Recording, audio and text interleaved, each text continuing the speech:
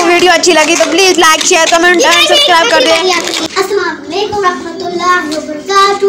अल्लाह हाफिज़।